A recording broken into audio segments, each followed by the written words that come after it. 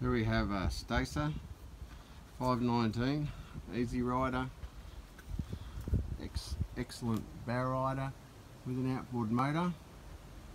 Just needs a little bit of TLC very popular boat. Got it down here at Horizon Shores Marina.